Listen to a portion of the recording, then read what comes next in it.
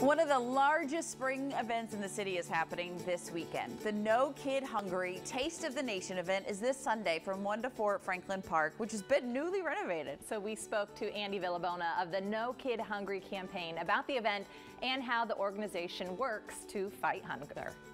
Andy, great to have you here, especially as we are celebrating No Kids Hungry uh, Taste of the Nation being back in person, mm -hmm. right? What can we expect at the event this year? Yeah, we're, we're thrilled to be back. So for, for over 30 years, Taste of the Nation has been one of the most anticipated food events of the spring season. And we're thrilled to be back after this two-year hiatus. Um, guests can expect an, an experience of unlimited bites and drinks, craft cocktails, non-alcoholic offerings, uh, some great games and activations from our No Kid Hungry partners.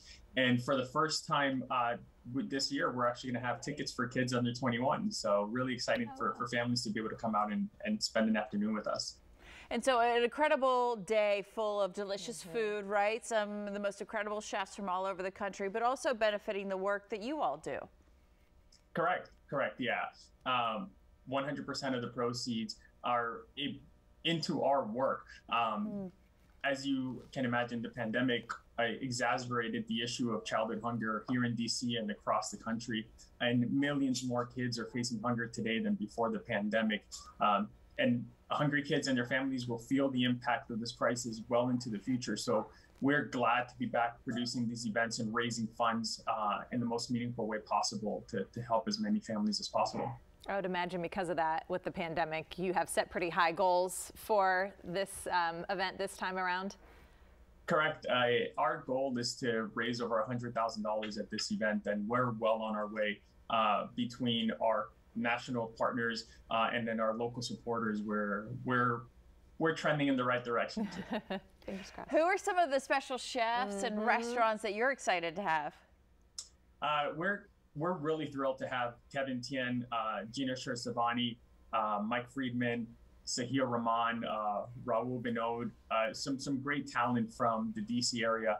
We're also bringing in some of our great supporters from across the country uh, to into the DC area to spend some time with these chefs. So uh, we've got Matt Bell from Nashville, Tennessee, Isaac Toups from New Orleans, Timon Balloo coming up from South Florida, so really excited wow. to have some some local talent uh, paired with some of our out of town chefs at this year's event.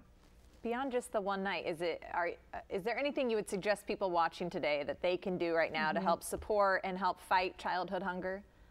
Yeah, I, I would recommend folks, uh, whether they're planning to attend or if they can't attend, uh, to visit nokidhungry.org slash taste. Uh, you get the chance to learn a little bit more about the event and the things that we have going on. Uh, but there's also direct links there to our website and various other ways that folks can get engaged with the work that we're doing, uh, whether it's doing their own virtual fundraising events or if they want to explore other opportunities to support some of our partners uh, and, and help us raise those critical funds. Mm. Andy, we're excited to have Taste of the Nation back yeah. in person. People are going to have an incredible time, but also thank you to everything that you all do at No Kid Hungry. Thank you so much. You thank you. We, are looking forward to it, and uh, hopefully we'll see you two out there.